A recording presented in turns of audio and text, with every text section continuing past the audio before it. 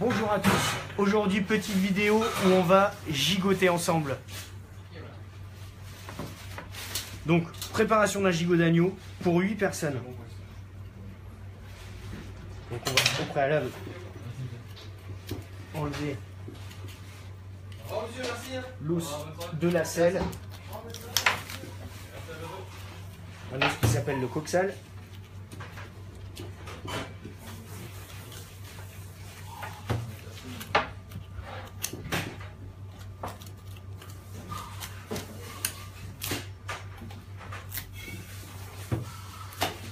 Donc pour ce gigot d'agneau pour 8 personnes, il faudra compter environ une heure de cuisson au four avec un four bien chaud au début environ 230-240 degrés pendant 10 minutes et ensuite baisser à 180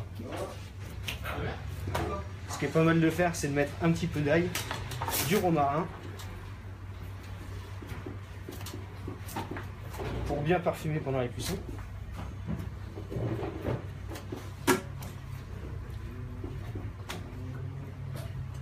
L'avantage du gigot, c'est que c'est un plat qui est quand même convivial, familial, pour le dimanche.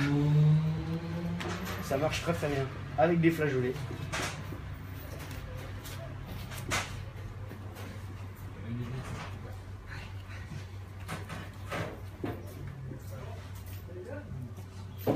Là j'enlève la petite peau des bavettes. Donc ce que j'enlève, c'est pas forcément le gras, c'est surtout les aponévroses, donc les petits nerfs, qui se rétractent à la cuisson et qui durcissent. Sauf si vous faites un gigot de 7 heures, auquel cas il faudra les laisser pour donner du moelleux à vos viandes.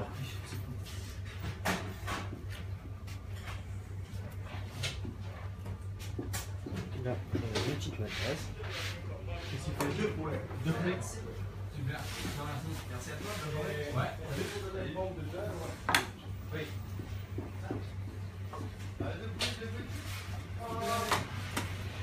Et voilà le gigot d'agneau que vous pouvez trouver à la boucherie moderne au prix de 29,90€ le kilo.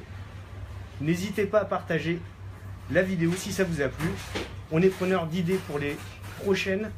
A bientôt. C'était Simon en direct de la boucherie moderne.